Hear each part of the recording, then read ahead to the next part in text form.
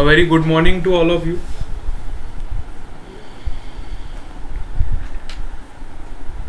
Welcome back once again and happy morning to all of you.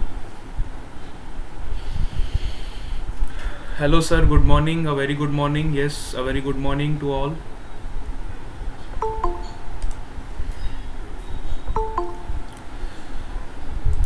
Let's take your attendance first. Kirmi Chaudhary.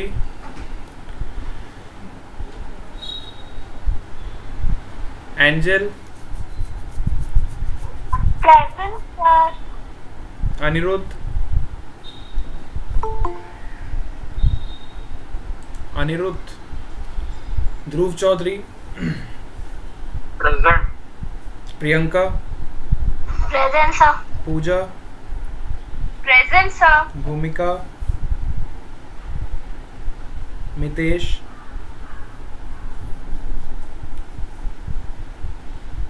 Sahil Steffi present sir Om Patel present Keshavi Rana present sir Kripal Darshanika present sir Tisha Darshit. Vansh. Present sir. Mayur. Khushboo. Present sir. Nirali. Lisa. Present sir. Tanushree. Present sir Deep Deep Chaudhary Tanvi Shivani Kainil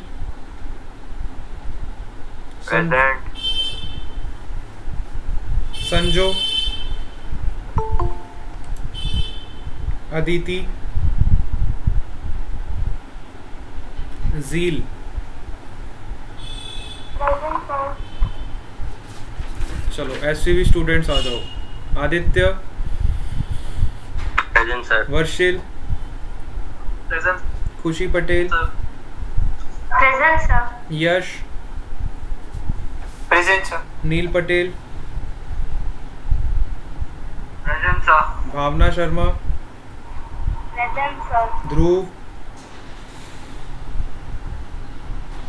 Braj Present, sir. Chandan Present, sir. ब्रुत Present, sir. Abhishek Present, sir. के Kush Patel Priyanshi.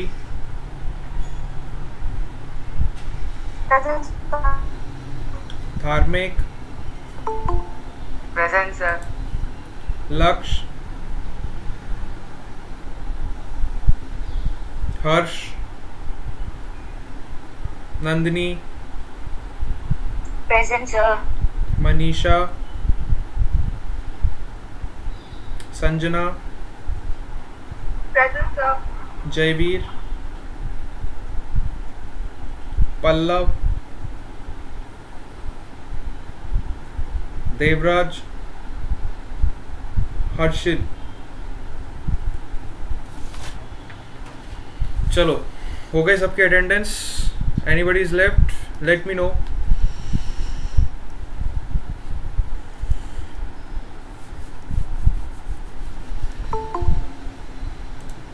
Mitesh and Bhumika are also present okay Mitesh and Bhumika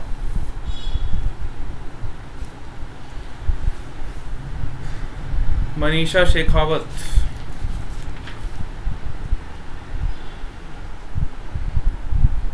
इसके अलावा कोई रहता है तो बता दो। Mayur Marathe.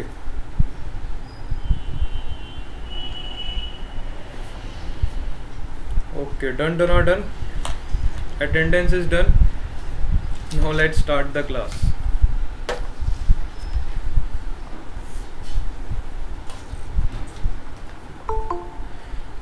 Kush Patel sorry you are late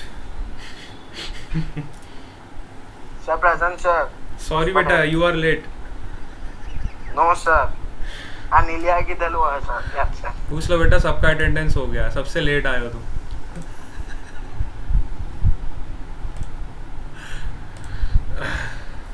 सब वापिस कर दो है। प्रेजेंट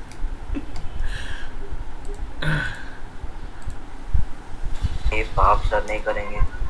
चलो। कल हम क्या पढ़ रहे थे? बुद्धू के चाले बाल।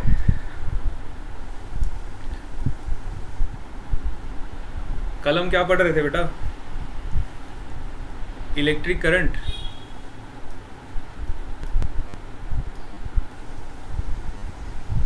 सबको चार्ज के बारे में पता चल गया ना? चार्ज कितने टाइप के होते हैं? करंट कैसे हम निकालते हैं? करंट कितने टाइप्स के होते हैं, है ना? Different different forms of current ये सब हमने कल डिस्कस कर लिया था, है ना? ड्रिफ्ट स्पीड के बारे में भी हमने कल डिस्कस कर लिया था। ड्रिफ्ट स्पीड तक सबको क्लियर हो गया? यस हाँ कल हम फिजिक्स पढ़ रहे थे इलेक्ट्रिक करंट पढ़ रहे थे, उसमें हम ड्रिफ्ट स्पीड तक हमने डिस्कस कर चुके थे। है ना? ये बहुत फ़ेमस इक्वेशन है, जो हमने कल ने डिराइव किया था। I is equal to N E A V D बहुत ही फ़ेमस इक्वेशन है। आपको याद रखना है इक्वेशन है ना?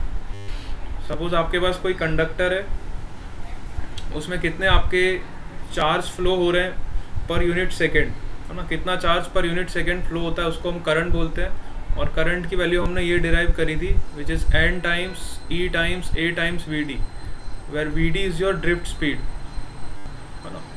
वी डी क्या होता है? आपका ड्रिफ्ट स्पीड समझ आई? ये कहानी हम कल डिस्कस कर चुके थे ना बार बार एक ही कहानी को क्या रिपीट करके कोई फ़ायदा नहीं। तो हम आगे चलते अपन। अच्छा एक चीज़ मुझे आपको बतानी थी यहाँ पे। अ, पहला पॉइंट तो ये था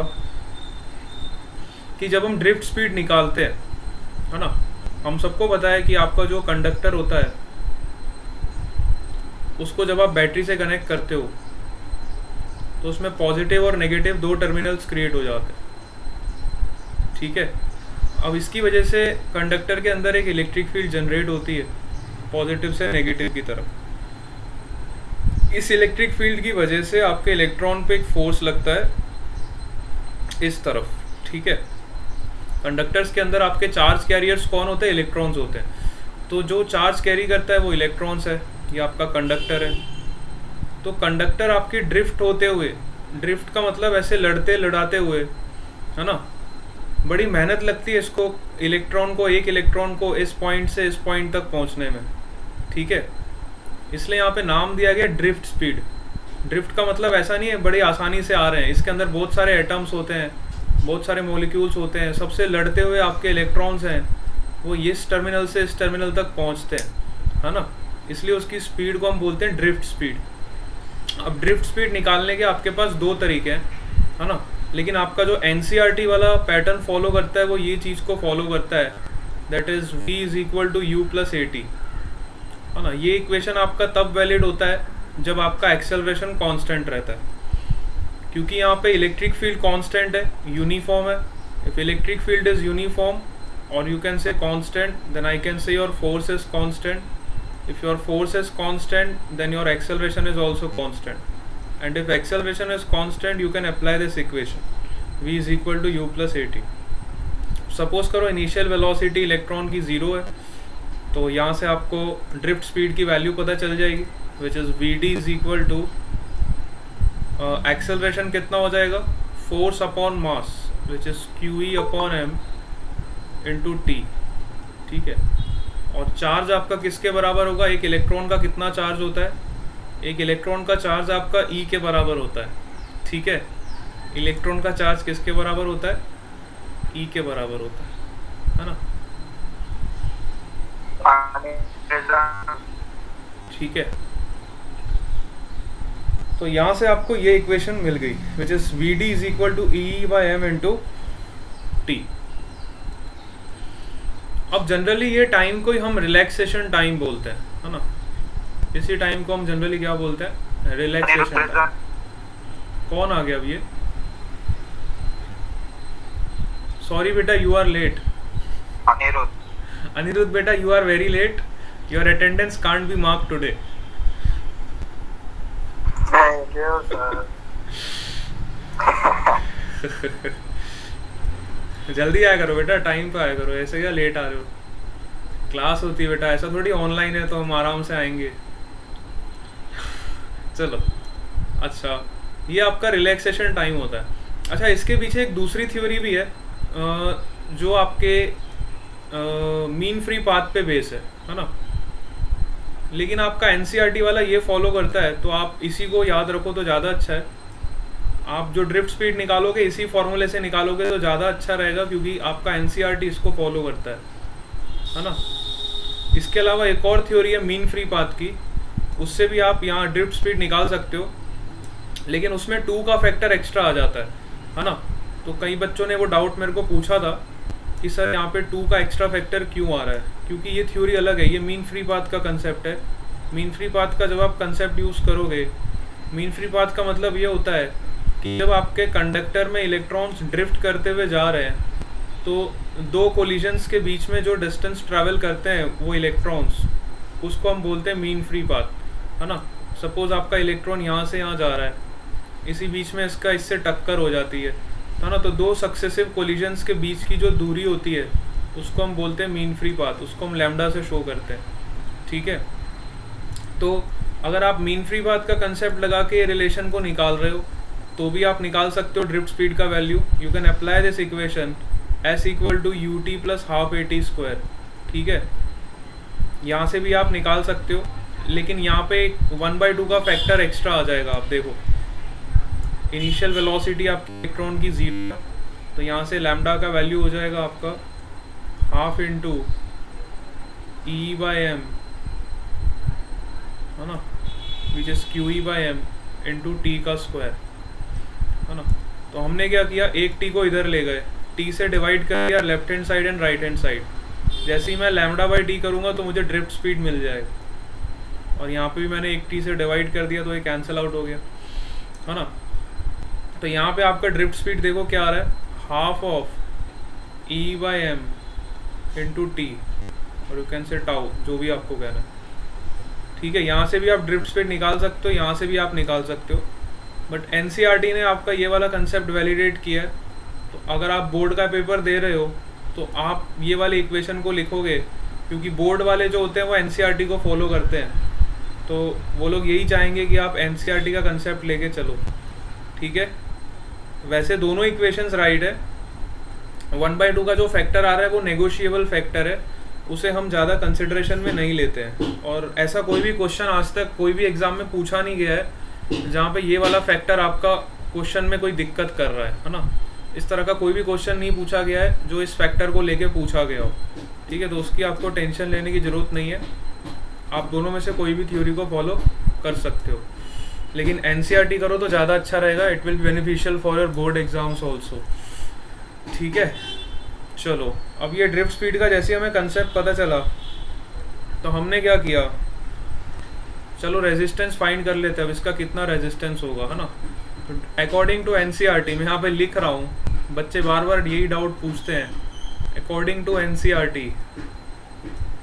according to N हमें ड्रिफ्ट स्पीड का वैल्यू कितना मिला? V D is equal to E by M into T ठीक है? Drift speed is equal to E by M into T ये हमने निकाला।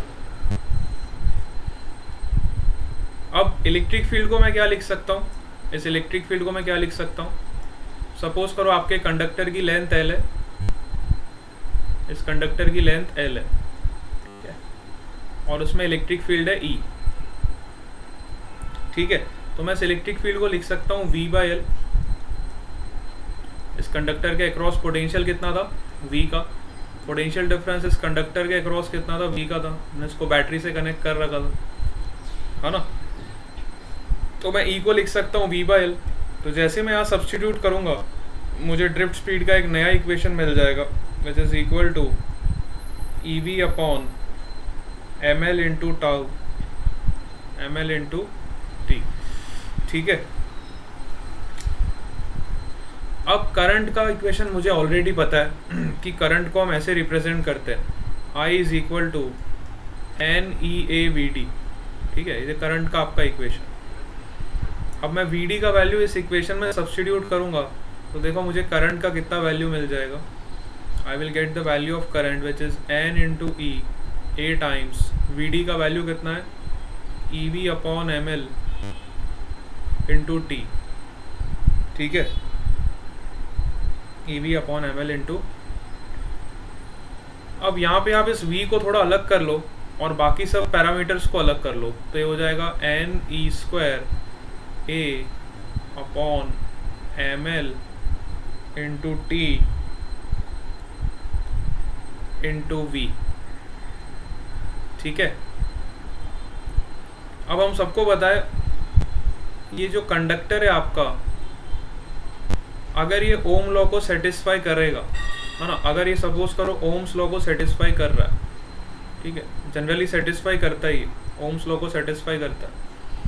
तो हम इसको ऐसे भी रिप्रेजेंट कर सकते हैं, v is equal to I times R v is equal to I times R तो यहाँ से मुझे रेजिस्टेंस का वैल्यू क्या मिल जाएगा? Which is v upon I है ना? V अपॉन आई मतलब कितना हो जाएगा? आप इस इक्वेशन से कंपेयर करो इसको। तो ये वाला फैक्टर आपको मिल जाएगा। ये जो फैक्टर है आपका वन अपॉन आर के बराबर है। तो आपका आर का वैल्यू यहाँ से कितना हो जाएगा? M L upon N E square tau into A T into A ये आपका हो जाएगा resistance M L upon N square T into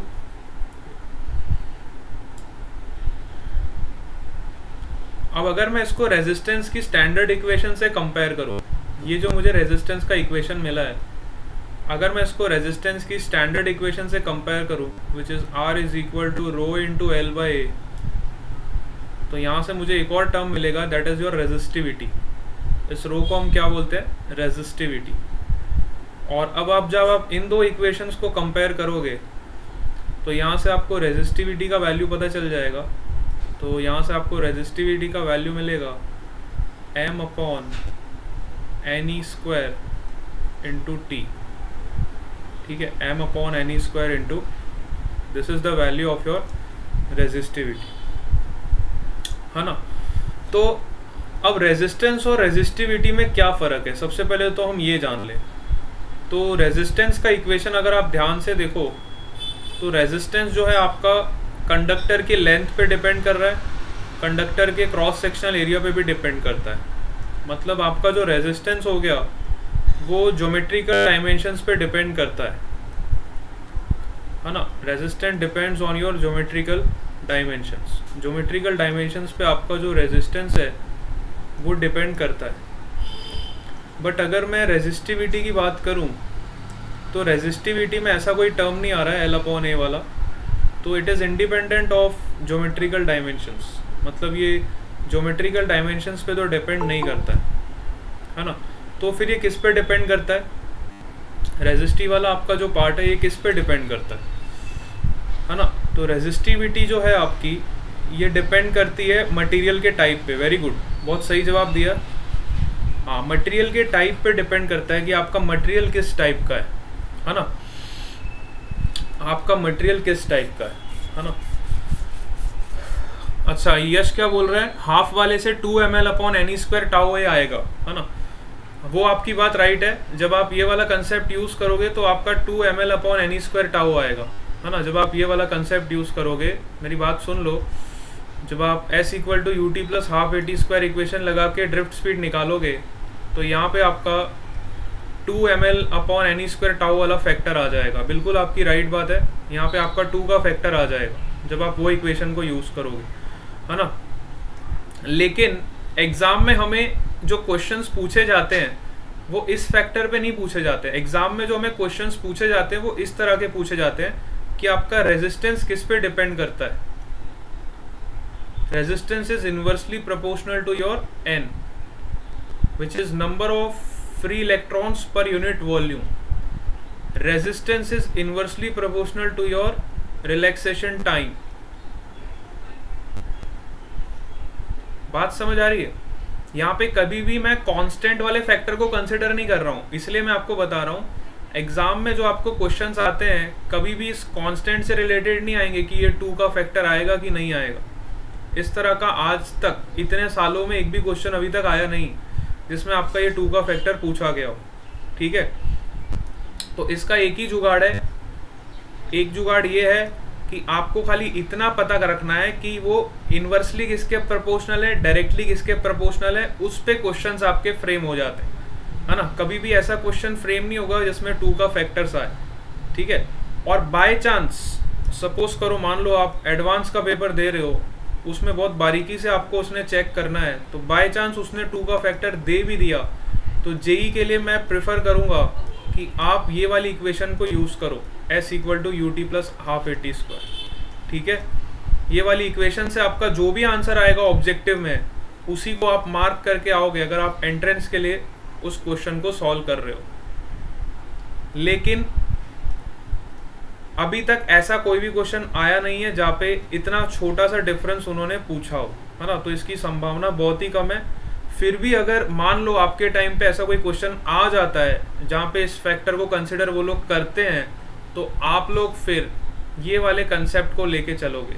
competitive exam के लिए आप ये कंसेप्ट को लेके चलोगे S equal to U T plus half A T square वाला। ठीक है? लेकिन एन इसको नहीं लेता है तो एन वाला इसको बाइकआउट करता है। इसलिए आप एन के हिसाब से चलोगे तो वो फैक्टर आपको लेना नहीं। तो इतना आप ध्यान में रख के फिर इसको सॉल्व करो। वैसे डरने की कोई बात नहीं है, क्योंकि आज तक, अभी तक कोई भी ऐसा सवाल आया नहीं है जिसमें इस फैक्टर को कंसिडर किया गया। ठीक है? चलो। अब ये चीज़ हमें पता चली कि आपकी जो रेजिस्टिविटी है, वो इन्वर्सली प्रोपोर्शनल किसके? एन के। एन क्या है आपका? Number of free electrons per unit volume है ना? पर यूनिट वॉल्यूम में कितने फ्री इलेक्ट्रॉन्स है? दैट इज़ योर एन ठीक है? इतनी बात आपको पता चली? तो जितने ज़्यादा आपके फ्री इलेक्ट्रॉन्स होंगे, है ना? जितने ज़्यादा आपके फ्री इलेक्ट्रॉन्स होंगे, उतनी कम आपकी रेजिस्टिविटी होगी। इतना तो हम सबको समझ आता ही है। जितने ज़्यादा चार्ज कैरियर्स होंगे, उतनी कम रेजिस्टिविटी होगी, उतना आसानी से आपका चार्ज फ्लो कर जाएगा। ठीक है? Resistivity is also inversely proportional to your relaxation time अब ये रिलैक्सेशन टाइम का क्या फंडा है, इसको समझो। तो जैसे ही आप टेम्परेचर बढ़ाते हो किसी भी कंडक्टर का, है ना? जैसे ही आप किसी भी कंडक्टर का टेम्परेचर इंक्रीज करते हो तो टेम्परेचर इंक्रीज करने की वजह से उनके जो एटम्स होते हैं, उनमें वाइब्रेशन स्टार्ट हो जाता है है ना? इसको हम बोलते हैं लेटिस वाइब्रेशंस है ना? लेटिस वाइब्रेशंस ज़्यादा टेम्परेचर बढ़ाते हो तो दो एटम के बीच में जो वाइब्रेशन होता है, उनको हम बोलते हैं लेटिस वाइब्रेशन ठीक है? तो वाइब्रेशंस की वजह से क्या होता है? आपके जो रेजिस्टिविटी है है ना? वो वाइब्रेशंस की वजह से आपका रिलैक्सेशन टाइम कम हो जाता है। है ना? जैसे ही आप टेम्परेचर बढ़ाते हो due to this lattice vibration आपका जो टाइम होता है रिलैक्सेशन टाइम वो क्या हो जाता है? कम हो जाता है। और अगर रिलैक्सेशन टाइम कम हो गया तो आपकी रेजिस्टिविटी इंक्रीज हो जाती है। ठीक है? रिलैक्सेशन टाइम कम हो जाता है तो आपकी रेजिस्टिविटी बढ़ जाती है। ठीक है? तो सिंपली आपको ये कंसेप्ट दिमाग में रखना है। With increase in temperature with increase in temperature your relaxation time decreases and if relaxation time decreases then your resistivity will definitely increases ठीक है तो रेजिस्टिविटी आपकी इंक्रीज हो जाती है अब अगर बड़े ध्यान से हम ये दोनों फैक्टर्स को एनालाइज करें अच्छा चार्ज तो आपका कांस्टेंट रहता है और ये मास भी आपका कांस्टेंट रहता है ना ये वाला फैक्टर तो आपका कॉन्स्टेंट ही है। तो मेन आपके यही दो फैक्टर्स थे which is N and your T relaxation time इसलिए आपने देखा होगा जो कॉपर है कॉपर कॉपर की जो वायर्स होती है ना जनरली कॉपर की वायर्स हम यूज़ करते हैं इलेक्ट्रिकल ट्रांसमिशन में, क्योंकि उसकी कंडक्टिविटी बहुत हाई होती है। कॉपर की रेजिस्टिविटी बहुत कम होती है। रेजिस्टिविटी कम होने के मुख्य कारण ये है कि कॉपर के अंदर ये जो एन होता है, बहुत ज़्यादा होता है। कॉपर का जो एन होता है मतलब number of free electrons are very high इतने ज़्यादा होते हैं कि वो उसकी कंडक्टिविटी बहुत ज़्यादा होती है। कंडक्टिविटी ज़्यादा होने की वजह से उसकी रेजिस्टिविटी बहुत ही कम होती है। इसलिए हम इसको इलेक्ट्रिकल ट्रांसमिशंस में यूज़ करते हैं। कॉपर की वायर्स हम यूज़ करते हैं इलेक्ट्रिकल ट्रांसमिशंस ठीक है? बात समझ आ गई? तो ले दे के कंक्लूडिंग फैक्टर ये निकलता है कि आपका जो रेजिस्टेंस होता है, वो आपका ज्योमेट्रिकल डायमेंशंस पे डिपेंड करता है। जो आपका रेजिस्टिविटी होता है, वो ज्योमेट्रिकल डायमेंशंस पे डिपेंड नहीं करता, वो मटेरियल पे डिपेंड करता है। जैसा आपका मटेरियल होगा, उसके हिसाब से आपकी एन की वैल्यू होगी और जैसा आपका टेम्परेचर होगा टेम्परेचर पे भी डिपेंड करेगा। उस हिसाब से आपका रिलैक्सेशन टाइम इफ़ेक्ट होगा। तो टेम्परेचर से आपका रिलैक्सेशन टाइम इफ़ेक्ट करता है और मटेरियल से आपका नंबर ऑफ़ फ्री इलेक्ट्रॉन्स जो उस कंडक्टर के अंदर होते हैं, वो इफ़ेक्ट करते हैं। और ये दोनों ही फैक्टर्स कंट्रीब्यूट करते हैं आपके रेजिस्टिविटी ठीक है? तो this is the concluding point of resistance and resistivity ठीक है? कि हमने जो भी बात करी कंडक्टर्स के बारे में बात यहाँ तक सबको क्लियर हो गया बेटा? इस पॉइंट तक हम सब क्लियर है? Yes we all are clear up to this point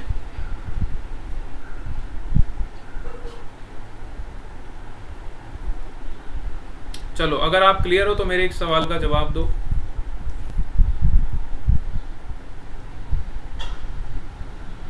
Yes yes? चलो आ जाओ।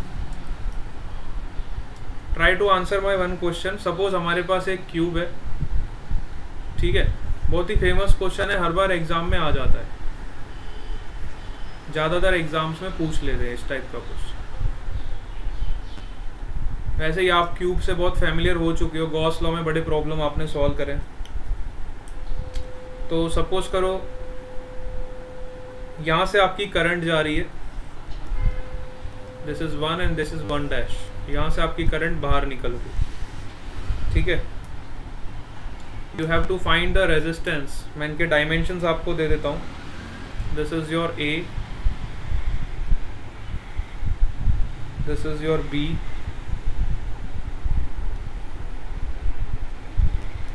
and this is your C ठीक है? मान लो एक क्यूबॉइड है। इसके डायमेंशंस आपको दिए हुए हैं।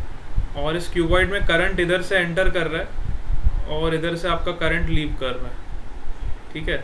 इस एरिया को नाम दे दिया मैंने वन। उस एरिया को नाम दे दिया मैंने वन डैश। ठीक है?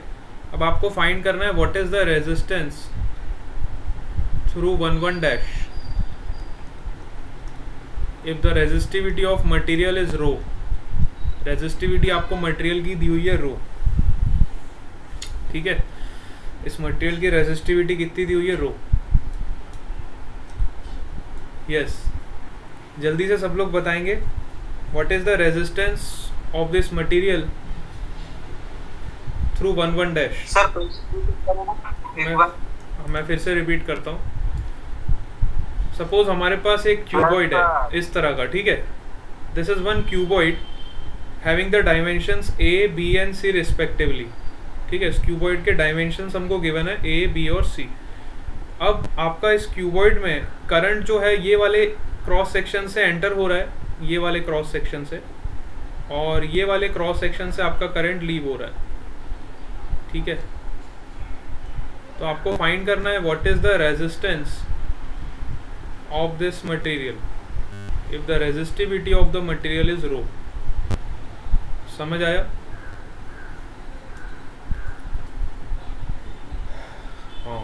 मितेश सैनी ने आंसर निकाल दिया। रो ए अपॉन बी सी बिल्कुल सही जवाब है। देखो रेजिस्टेंस क्या होता है हमारा? Rho into L upon A यही होता है ना? तो आपका करंट किधर एंटर हो रहा है? इधर एंटर हो रहा है। तो जब आपका करंट इधर एंटर हो रहा है तो आपका लेंथ क्या हो जाएगा? ए ये आपका लेंथ हो जाएगा कंडक्टर का। तो एल की जगह पे मैं ए लिखूँगा। और एरिया क्या होता है? That is the area of cross section area of cross section क्या होगा आपका ये, जहाँ पे आपका करंट एंटर हो रहा है which is B into C तो आपका रेजिस्टेंस कितना हो जाएगा? Rho A upon B C rho A upon B C through one one dash बात समझ आई? रो ए अपॉन बी सी हो जाएगा। अब सपोज़ करो मैं करंट के डायरेक्शन को चेंज कर देता ठीक है? सपोज़ करो वही क्यूब ले रहा हूँ, फिर से मैं वही क्यूब बना रहा हूँ।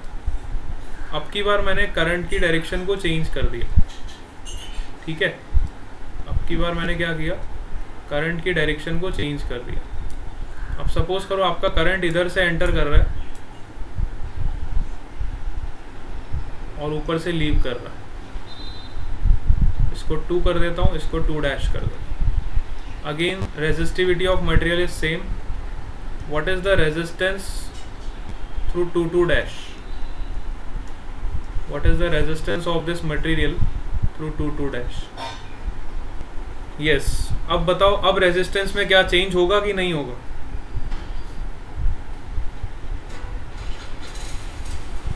हम्म रेजिस्टेंस में चेंज होगा ना? हाँ बिल्कुल चेंज होगा। Rho B upon A C will be correct answer very good your resistance will be now rho times L अब यहाँ पे लेंथ कितना है? देखो लेंथ आपका बी के बराबर है। ये आपको बी दिया हुआ है ना? ये आपको सी दिया हुआ है और ये आपको ए दिया हुआ है। ठीक है करंट यहाँ से एंटर हो रहा है तो आपका क्रॉस सेक्शन एरिया चेंज हो गया क्रॉस सेक्शन एरिया आपका ये हो जाए रो एल बाय ए तो L is your B and area of cross section is your A into C ठीक है? ए इंटू सी तो ये आपका रेजिस्टेंस हो जाएगा। कहने का मतलब ये है कि जो आपका रेजिस्टेंस है, वो यहाँ से हमने प्रूफ कर दिया कि वो ज्योमेट्रिकल डायमेंशंस पे डिपेंड करता है। आपका जो रेजिस्टेंस है, वो ज्योमेट्रिकल डायमेंशंस पे डिपेंड करता है। यहाँ से ये प्रूफ हो चुका है। ठीक है? एक सवाल आप पे छोड़ता हूँ। एक और सवाल ले लो। अब तो मेरे ख्याल से खैर सीख चुके हो आप लोग। फिर भी बता देता हूँ।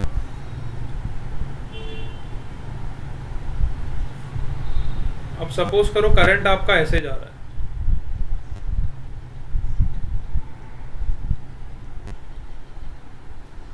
करंट आपका ये वाली डायरेक्शन में जा रहा है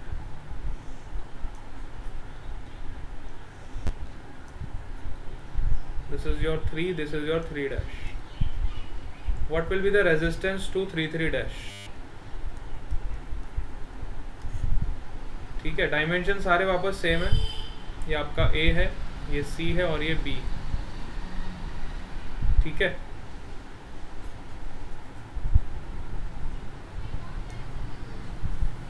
डायमेंशन सारे आपके वापस सेम है। अब बताओ रेजिस्टेंस कितना होगा। What will be the resistance now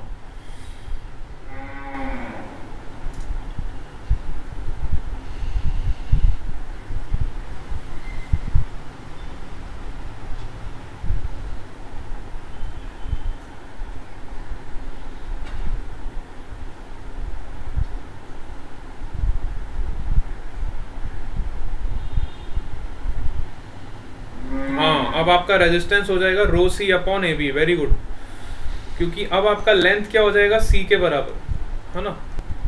और क्रॉस सेक्शन एरिया कितना हो जाएगा? क्रॉस सेक्शन एरिया आपका ये हो जाएगा। यहाँ पे आपका करंट एंटर हो रहा है और पीछे वाले एरिया से आपका करंट लीव हो रहा है। ठीक है, ये वाले एरिया से आपका करंट लीव हो रहा है। ठीक है? तो ये वाले एरिया से एंटर हो रहा है, ये वाले एरिया से लीव हो रहा है। तो लेंथ कितना हो जाएगा सी के बराबर? तो your answer will be rho C upon A B तो तीनों के लिए आपका रेजिस्टेंस का वैल्यू अलग अलग आया। है ना? तीनों के लिए आपका रेजिस्टेंस का वैल्यू अलग अलग अब इसके अलावा दो टर्मिनोलॉजीज और होती हैं। एक तो होती है आपकी रेजिस्टिविटी तो हमने देख लिया। एक आपकी होती है कंडक्टिविटी एग्ज़ाम में ये क्वेश्चन कई बार पूछ लेते हैं what is the difference between conductivity and conductance दूसरा आपका टर्म होता है कंडक्टेंस इन दोनों टर्म में क्या डिफरेंस होता है?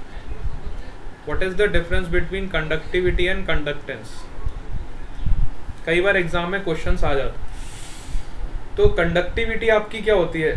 रेजिस्टिविटी का reciprocal conductivity is your reciprocal of resistivity which is one upon rho मतलब जितनी ज़्यादा रेजिस्टिविटी होगी, उतनी कम कंडक्टिविटी होगी। और जितनी ज़्यादा कंडक्टिविटी होगी, उतनी कम रेजिस्टिविटी होगी। सिमिलरली जो आपका कंडक्टेंस होता है कंडक्टेंस होता है आपका reciprocal of resistance reciprocal of resistance ठीक है? अब रेजिस्टेंस आपका ज्योमेट्रिकल पैरामीटर्स पे डिपेंड करता था। तो कंडक्टेंस भी आपका ज्योमेट्रिकल पैरामीटर्स पे डिपेंड करेगा। रेजिस्टिविटी आपका मटेरियल पे डिपेंड करता था तो कंडक्टिविटी भी आपका मटेरियल पे डिपेंड करेगा। जो जो पैरामीटर्स हमने इसके लिए यूज़ किए थे, वो सारे पैरामीटर्स इसके लिए वैलिड होंगे। जो जो पैरामीटर्स हमने रेजिस्टेंस के लिए यूज़ किए थे, वो सारे पैरामीटर्स कंडक्टेंस के लिए भी एप्लीकेबल होंगे। ठीक है? सबको ये पॉइंट क्लियर हो गया?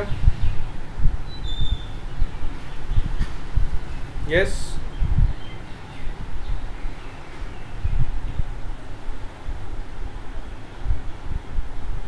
अच्छे से क्लियर हो गया? चलो, अब सपोज़ करो हमारे पास एक हॉलो सिलेंडर है, ठीक है? सपोज़ करो हमारे पास एक हॉलो सिलेंडर है, इस तरह का।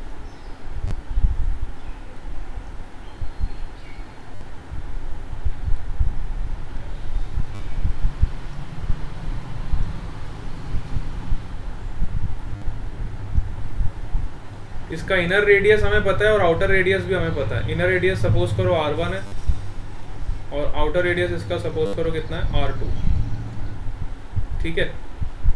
हॉलो सिलेंडर है। हॉलो सिलेंडर आपको गिवन है। अब यहाँ से ऐसे करंट पास हो रही है। करंट यहाँ से एंटर होती है और यहाँ से बाहर निकल जाती है। करंट यहाँ से एंटर हो रही है और यहाँ से बाहर निकल अब आपको निकालना है what is the resistance through this one one dash इसको मैं वन देता हूँ, इसको मैं वन डैश बोल देता हूँ। If resistivity of material is rho if resistivity of the material is rho then what is the resistance through one one dash suppose length of the conductor is L length भी ले लो आप length of the conductor is L ठीक है hollow cylinder आपको दिया हुआ है। और आपको बोला बेटा फाइंड करो इसकी वजह से इसका रेजिस्टेंस कितना होगा?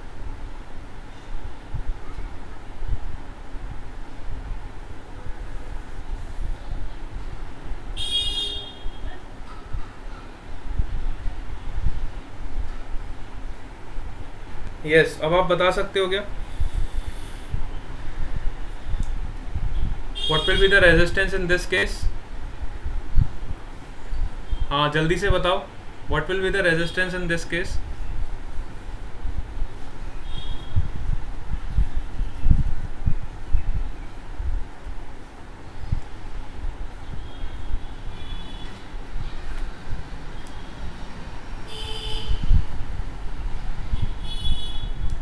अरे रेजिस्टेंस का सिंपल फॉर्मूला ही आपको लगाना है, कोई हाई फाई चीज़ नहीं है वो। Resistance equal to rho L by हम सबको पता है। टेंथ क्लास से हम पढ़ते आ रहे हैं। कोई नई चीज़ थोड़ी है। खाली हमने इतना जाना है कि एल आपका लेंथ है, जिस डायरेक्शन में आपका करंट फ्लो हो रहा है, और ए आपका क्रॉस सेक्शनल एरिया है, बस। इतना आपको कंसेप्ट पता होना चाहिए। And easily find the resistance yes R two minus R one करेंगे। Rho L upon R two minus R one का होल स्क्वायर बेटा एरिया ऑफ़ सर्कल सर्कल देखो कितना होगा यहाँ पे। क्रॉस सेक्शन एरिया क्या होगा आपका? ये होगा। क्योंकि ये हॉलो है ना। तो हॉलो है तो आपका एरिया ये वाला आएगा। हॉलो है तो आपका एरिया ये वाला आएगा। अंदर से हॉलो है ना हॉलो सिलेंडर है। तो हॉलो सिलेंडर का एरिया कितना होता है? पाई इंटू सर्कल बन रहा है ना ये सर्कल बन रहा है। यहाँ से देखो। Pi into R two square minus R one square बस ये आपका क्रॉस सेक्शनल एरिया होगा। For this hollow cylinder this will be your cross sectional area तो एग्ज़ाम में क्या होगा? आपको रेडियस अलग अलग दिया होगा। R2 का वैल्यू कुछ दिया होगा R1 का वैल्यू कुछ दिया होगा। लेंथ का वैल्यू कुछ दिया होगा रो का वैल्यू अलग अलग मटेरियल पे डिपेंड करता है। कॉपर होगा तो अलग होगा सिल्वर होगा तो अलग होगा। तो इस तरह से आपको डेटा गिवन रहेगा। आप डायरेक्टली पुट करोगे इक्वेशन में आपको आंसर यहाँ से मिल जाएगा रेजिस्टेंस ठीक है, इस तरह के क्वेश्चन आते हैं। सर प्लेन नो आवाज़ आव्यू छे। अच्छा हाँ एक्चुअली यहाँ पे एयरपोर्ट हमारे बहुत पास है तो आपको प्लेन की आवाज़ आती रहती है frequently airport is very close to us it is approximately five to six six to seven kilometers ठीक है? From our side airport is approximate six to seven kilometers so aeroplane की आवाज़ें आपको आती रहेगी, ठीक है? तो वो डिस्टरबेंस आपको थोड़ा बहुत रहेगा ही रहेगा। चलो आ जाओ। वैसे अभी सूरत का जो एयरपोर्ट है इंटरनेशनल फ्लाइट्स अभी ज़्यादा कहाँ चल रहे हैं? लेकिन जब टोटल इंटरनेशनल हो जाएगा, तब तो और ज़्यादा शोर हो जाएगा। अभी तो डोमेस्टिक फ़्लाइट्स ही चल रहे हैं यहाँ पे। इंटरनेशनल अभी स्टार्ट नहीं हुए हैं ना? तो इंटरनेशनल हो जाएगा तो बहुत ज़्यादा शोर होने। अच्छा इस तरह के क्वेश्चंस आते हैं एग्ज़ाम में। सपोज़ करो आपको एक वायर दी है रेजिस्टेंस पे इस तरह के क्वेश्चंस बहुत फ़ेमस है। सपोज़ करो आपको एक वायर दी है, इस वायर का रेजिस्टेंस है पाँच ओम के बराबर। ठीक है? एक वायर दी है, जिसका रेजिस्टेंस कितना है? पाँच ओम अब मैंने क्या किया, इसकी लेंथ को खींच के बड़ा कर दिया। ये क्वेश्चन बहुत बार आते हैं एग्ज़ाम में, और हमेशा आएँगे आएँगे, इससे कोई बच नहीं पाएगा। ठीक है? ए वी वायर दी हुई है आपको। सपोज़ करो एल लेंथ की वायर है। अब इसको मैंने खींच के इसको दो गुना लंबा कर दिया। ठीक है? मैंने इसको खींच के कितना कर दिया? दो गुना लंबा कर दिया। तो आपकी वायर की लेंथ ही हो गई ए डैश बी डैश ठीक है? अब बताओ इसका नया रेजिस्टेंस कितना हो? ये क्वेश्चन बहुत फ़ेमस है और ऐसे टाइप के क्वेश्चंस आते ही आते hundred percent you will face this type of questions in your exam तो बताओ इसके रेजिस्टेंस में कितना चेंज होगा? है ना? क्या हुआ? बहुत हँसी आ रही है क्या आप लोगों को? आज क्या माहौल बना रहे हो क्या हंसने का? Yes hmm? अब तो एग्ज़ाम्स भी खत्म हो गए हैं। अब दिवाली का वेकेशन भी आने वाला है। कुछ चंद दिन आपके पास रह गए हैं। पढ़ लो अच्छे से। चंद दिनों के बाद आप अच्छे से वेकेशन एंजॉय करना। है ना?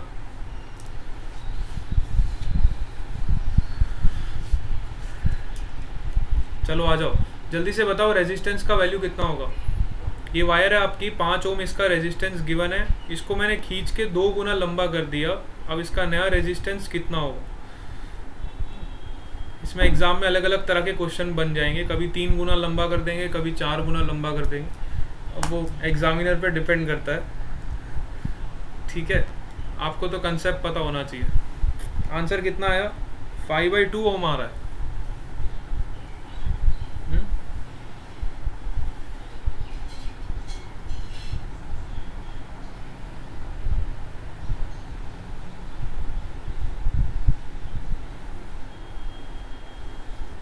यस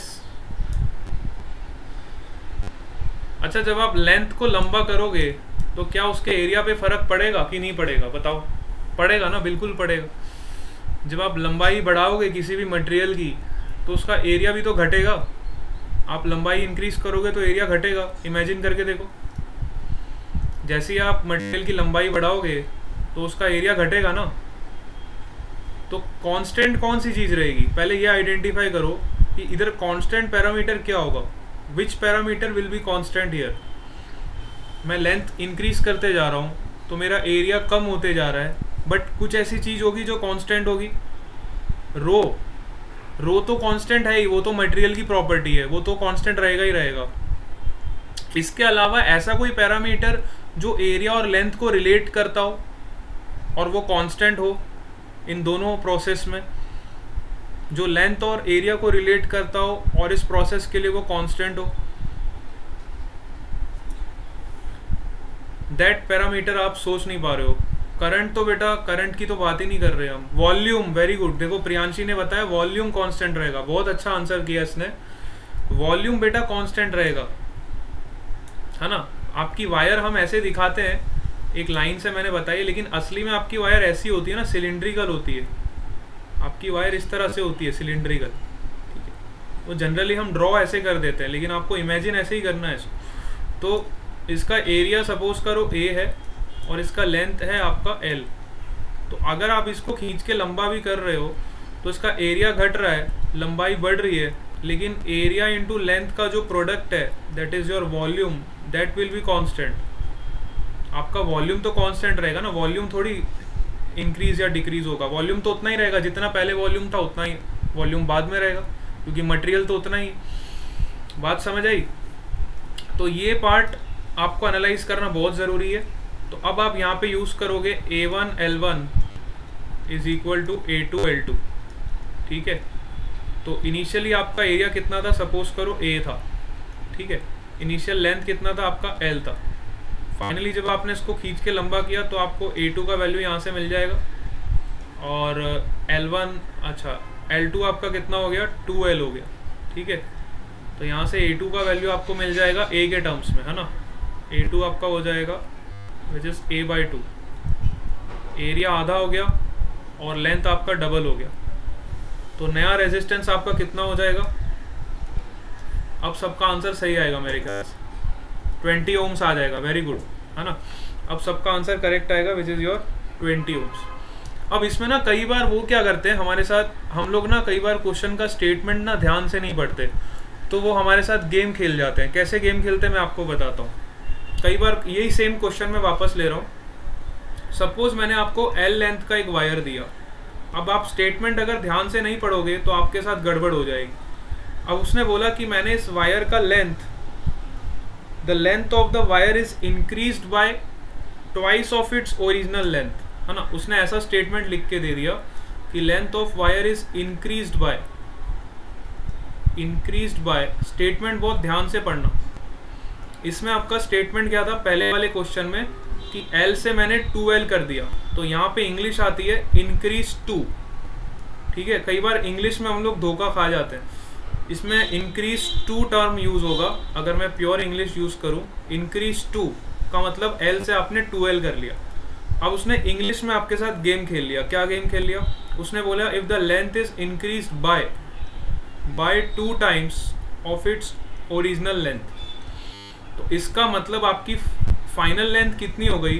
टू एल से तो आपने इंक्रीज किया और ओरिजिनल कितना था? एल तो फाइनल लेंथ आपकी हो जाएगी 3L क्या आप इस बात को समझ पा रहे हो? क्या आप इस इंग्लिश को समझ पा रहे हो? ये बहुत इंपॉर्टेंट है, बहुत सारे लोग यहाँ पे गड़बड़ करते हैं। एग्ज़ाम में यहाँ पे मैक्सिमम नंबर ऑफ़ स्टूडेंट्स जो हैं मिस्टेक करते ही करते हैं। क्योंकि हड़बड़ी में होते हैं और जल्दी से क्वेश्चन फटाफट पढ़ने के चक्कर में उसको प्रॉपरली रीड नहीं करते। और रीड नहीं करते तो फाइनल लेंथ ट्वेल्व लिख के आते और फिर बोलते, मेरा आंसर तो बिल्कुल सही है। और जब क्लास से बाहर निकलते डिस्कशन करते तो सबसे ज़्यादा दुखी वही बच्चे होते हैं। ठीक है, फिर से बताता हूँ, देखो, दो पॉसिबिलिटीज़ है आपके पास। पहली कंडीशन में क्या था? हमने जो लेंथ था एल से टू एल इंक्रीज किया। तो उसको मैं इंग्लिश में क्या लिखूँगा? If my length of the wire is increase from L to two L है ना? ठीक है from L to two L दूसरी कंडीशन में मैंने क्या किया? अब कंडीशन चेंज कर दी और मैंने आपको बोला if your length is increase by तो इंक्रीज टू और इंक्रीज बाय में फ़र्क आ जाता है इंग्लिश में। है ना? यहाँ पे इंक्रीज बाय है। इंक्रीज बाय का मतलब दो एल से मैं इस लेंथ को बढ़ा रहा हूँ। तो मैं मैं इसमें कितना ऐड कर रहा हूँ? टू एल ऐड कर रहा हूँ। तो मुझे कितना मिलेगा? फाइनल लेंथ थ्री एल मिलेगा। बात समझ आ रही है? तो इस केस में आपका रेजिस्टेंस कितना आएगा? अब समझ आया आपको? पहले वाली कंडीशन में इंक्रीज टू था। नेक्स्ट वाली कंडीशन में इंक्रीज बाय है। तो इंक्रीज बाय का मतलब टू एल से मैं लेंथ को इंक्रीज कर रहा हूँ। समझ आ रही है कहानी? हाँ अब मेरे ख्याल से आपको दिमाग में घुस गया होगा, अब इसको कभी भूलना मत। और एग्ज़ाम में क्वेश्चन बहुत केयरफुली रीड कर। इंक्रीज बाय है कि इंक्रीज टू है? तो लेंथ आपका हो गया थ्री एल तो आप वापस से वॉल्यूम कंजर्वेशन लगा सकते हो यहाँ पे। A one L one is equal to A two L two this is by volume conservation तो ए वन आपको पता है कितना? ए एल वन कितना है आपका? एल ए टू कितना है? ए टू के बराबर और एल टू कितना हो गया आपका? थ्री एल के बराबर। ठीक है? तो यहाँ से आपको ए टू का वैल्यू मिल जाएगा which is A by three और एल टू आपका ऑलरेडी कितना है? थ्री एल है। तो आपका रेजिस्टेंस जो हो जाएगा वो नाइन टाइम्स हो जाएगा। Your new resistance will be nine times of original resistance इसको आप पुट करके देख लो दोनों वैल्यूज़ को तो ये हो जाएगा 45 ओम इस कंडीशन में आपका आंसर होगा 45 ओम और एग्जामिनर बड़ा चालाक होता है। उनको पता है कि बच्चा यहाँ पे गलती करता है तो वो ऑप्शन में ना 20 ओम भी देता है। ऑप्शन में 45 ओम भी आपको देगा। बात समझ आ रही है? दोनों ऑप्शन में प्रेजेंट होंगे। वो चेक करता है कि बच्चे ने क्वेश्चन प्रॉपरली रीड किया कि नहीं किया। उसने टू और बाय को पकड़ा कि नहीं पकड़ा? बात समझ आ रही है? तो इस तरह से आपके साथ गेम ना हो जाए कहीं एग्ज़ाम में। तो आपको क्वेश्चन बहुत ही केयरफुली रीड करना पड़ेगा। है ना? हमेशा आदत डालो कि क्वेश्चन को दो से तीन बार रीड करो, ताकि आपका एग्ज़ाम अच्छा से जाए। हाँ एग्जामिनर बड़ा चालाक होता है। उसको सब पता रहता है कि बच्चा कहाँ कहाँ पे गड़बड़ करता है। ठीक है? उसकी चालाकी से मैं आपको बचा रहा हूँ तो आपको मेरे को थैंक्स बोलना चाहिए। ठीक है? चलो, आगे चलते हैं अपन। एक सवाल और करते हैं इस पे। सपोज़ करो। अब एक आप आंसर दे दो मेरे को करके बताओ। सपोज़ करो आपके पास कॉपर की एक वायर है, ठीक है? अब कॉपर की वायर में उसको उसने स्ट्रेच किया। इनिशियली सपोज़ करो लेंथ अलग है। अब ये तीसरी स्टेटमेंट आपको दे रहा हूँ, इस तरह के भी क्वेश्चंस आ जाते कई सपोज़ करो कॉपर की वायर आपको दी हुई है, और उसने स्टेटमेंट में आपको ऐसा बोला है कि it is stretch to statement को ध्यान से रीड करो। It is stretch to make it 0.2 percent longer ठीक है? It is stretch to make it 0.2% point longer then what is the percentage change in the resistance what is the percentage change in the resistance ठीक है? अब यहाँ पे इसने क्या बोला है? A copper wire of length L which is stretch to make it 0.2 percent longer तो अब 0.2 परसेंट इसको मैंने लॉन्ग किया। मतलब इनिशियली आपका कितना था? एल तो 0.2 परसेंट इसका कितना हो गया? ओरिजिनल लेंथ का 0.2 परसेंट आपका हो गया 0.2 two upon hundred into L ठीक है? इतना आपने इस वायर को लंबा किया। मतलब एल में आप ये वाला टर्म ऐड करो। बात समझ आ रही है? 0.2 परसेंट आपने स्ट्रेच किया। ठीक है? कंप्रेस नहीं किया, स्ट्रेच किया बेटा। हाँ कंप्रेस नहीं कर रहे, हम स्ट्रेच कर रहे वायर को। खींच रहे खींच रहे। दबा नहीं रहे, खींच रहे, स्ट्रेच कर रहे। कंप्रेस क्यों होगा? क्वेश्चन में दिया हुआ है ना? बेटा, क्वेश्चन में दिया हुआ है कि a copper wire of length L which is stretch to make it 0.2 percent long then what is the percentage change in your resistance ठीक है what is the percentage change in your resistance इस तरह का question बनाया गया। समझ आया सबको? यस हम्म बहुत बढ़िया। तो अब यहाँ पे आपका देखो जो लेंथ होगा वो कितना हो जाएगा? फाइनली जो लेंथ होगा आपका इस एल डैश को मैं लिख देता हूँ। ये हो जाएगा one point zero zero two L. ठीक है, जब आप इस परसेंटेज को इसमें ऐड करोगे, you will get the new length, which is 1.002 L ठीक है? बात समझ आई? 1.002 L ठीक है? तो आपको परसेंटेज चेंज निकालना है रेजिस्टेंस में कितना परसेंटेज चेंज होगा। तो सबसे पहले हम रेजिस्टेंस को एनालाइज करते हैं थोड़ा अच्छे से। रेजिस्टेंस का जो हमने इक्वेशन पढ़ा था, वो यही पढ़ा था that your resistance is equal to rho into L upon A तो मैं यहाँ पे एरिया को क्या लिख सकता हूँ? एरिया को देखो मैं क्या लिख सकता हूँ। जो मेरा मास होता है मास क्या होता है? मास ऑफ़ वायर मास होता है आपका डेंसिटी इंटू वॉल्यूम ये तो हम सबको पता है। आपका वायर का जो मास होता है, वो होता है डेंसिटी इंटू वॉल्यूम अब ये डेंसिटी है रो नहीं है। कंफ्यूज मत हो जाना। डेंसिटी को मैं ऐसे लिख देता हूँ। ये रो अलग है, आपका डेंसिटी को मैं ऐसे कट कर देता हूँ। ठीक है? मास क्या होता है? डेंसिटी इंटू वॉल्यूम ठीक है? बात समझ आ रही है आपको? तो मैंने क्या किया? एरिया को मास के टर्म में लेके आ गया which is M upon L into D है ना? एरिया को मास के टर्म में लेके आ गया। मास को मैं क्या लिख सकता हूँ? डेंसिटी इंटू वॉल्यूम और उसको मैं क्या लिख सकता हूँ? Area into length into D suppose करो डेंसिटी को मैं डी बोल देता हूँ। इसमें कोई हर्ज नहीं है, क्योंकि रो से कन्फ्यूज़न ना हो ना डेंसिटी इंटू वॉल्यूम वॉल्यूम को मैं क्या लिख सकता हूँ? एरिया इंटू लेंथ लिख सकता हूँ। तो मेरा मास का इक्वेशन क्या हो गया? Area into length into density तो यहाँ से मुझे एरिया का वैल्यू मिल जाएगा मास के टर्म्स में लेंथ के टर्म्स में और डेंसिटी के टर्म्स में। ऐसा मैंने क्यों किया? क्योंकि डेंसिटी मेरा मटेरियल पे डिपेंड करता है और वो चेंज होने वाला है नहीं। मास भी मेरा जो गिवन है, वही गिवन है। लेंथ भी मेरा जो गिवन है, वही गिवन है। यहाँ पे मेरा कोई पैरामीटर चेंज नहीं होगा, खाली लेंथ चेंज होगा, है ना? लेंथ आपका वेरिएबल रहेगा।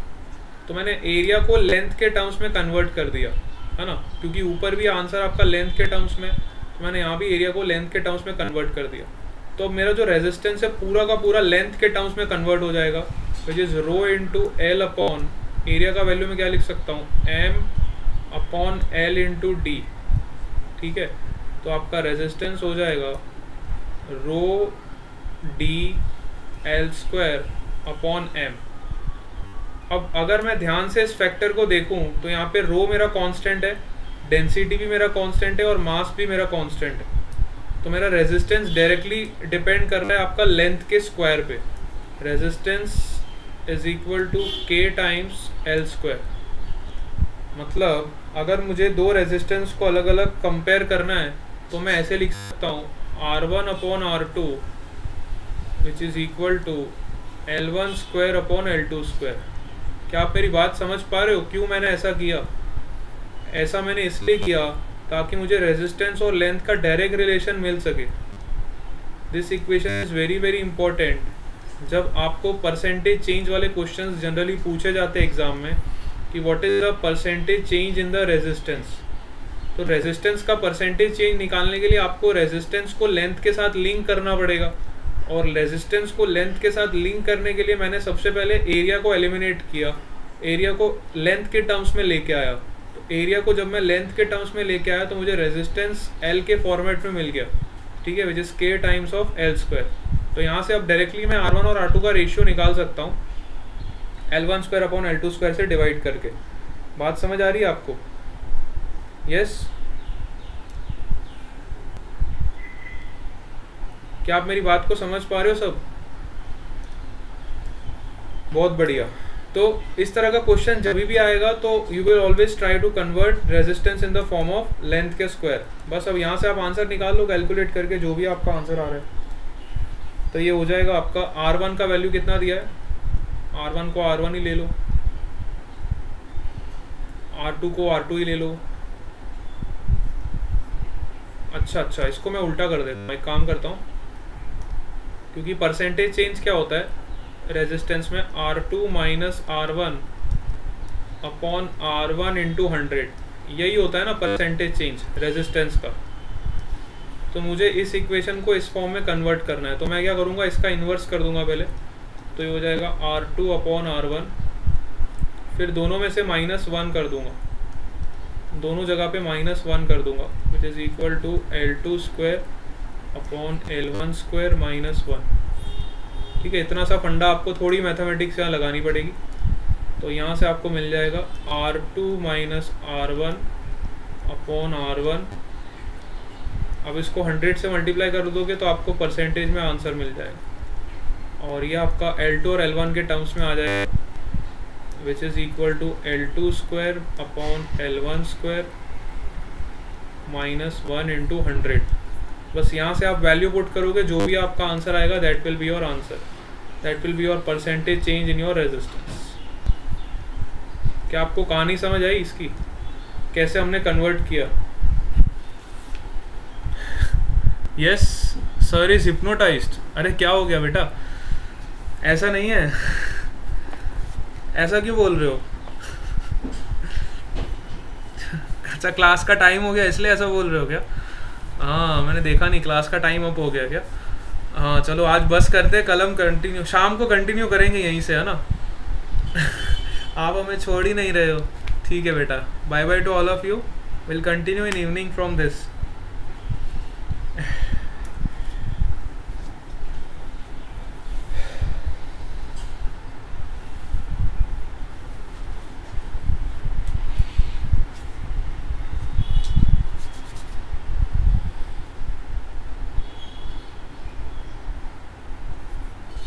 thank you sir ये इतना बड़ा बाजा क्यों बजाता है बेटा रोज? थैंक यू सर का, है?